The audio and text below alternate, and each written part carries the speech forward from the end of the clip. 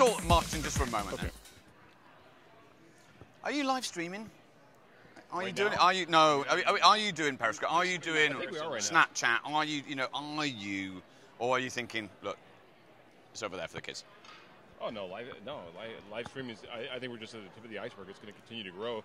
You've got um, YouTube coming out now with YouTube Connect. You've got Facebook, which is added. I think it's just going to grow. You've got Blab, which is continually innovating. Um, it's just going to grow.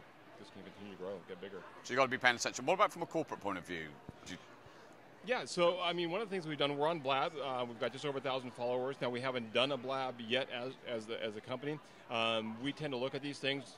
Go ahead. We want to hop in at the beginning, build our following, but we want to look at them and make sure that when we do jump in, um, that we're doing it with the right thing. That we're not just doing it to say, "Hey, we're here too." Yeah. And so we've been watching that, and we're ready to jump into Blab. We've got some things coming up later this year. It's going to be a lot of fun.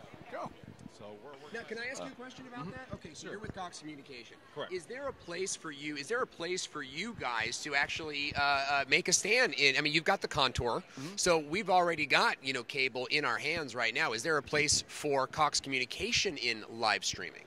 I think there is. I think that's one of the things they're looking at. I'm not sure what that play will be. Right. But absolutely, as things continue to evolve, you know, we're always looking for, you know, where do we need to be? Where do we want to be? Where is our audience? Right. So absolutely. It's it, for for my my mother-in-law and my grandmother. Right, we're totally digital. Um, uh, uh, we have a Roku and a Hulu, or a Roku and an Apple TV.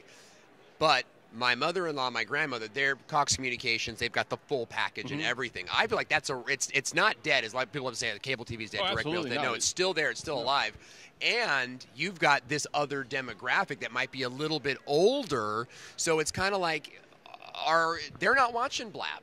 No, per if, se. if you, if you look at things like Contour with Cox, you know, we just continue to innovate. Uh, Yeah. It continues to grow. If you look at the launch of the uh, one gig network for the inter- internet and the speeds and things like that, Yeah. they continue to innovate. It's an ever-changing, evolving landscape, and uh, uh, you know, it's an interesting time. best thing Cox Communication has done, I've seen from Cox Communication in a year, is the commercial.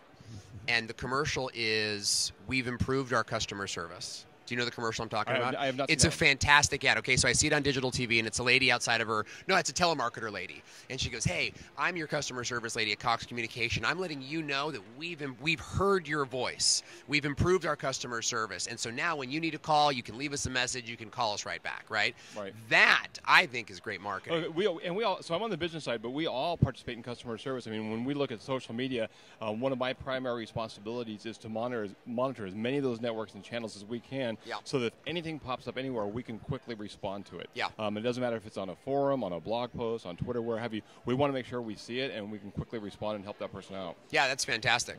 You know,